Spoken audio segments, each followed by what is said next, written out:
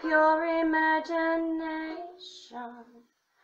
Take a look and you'll see into your imagination.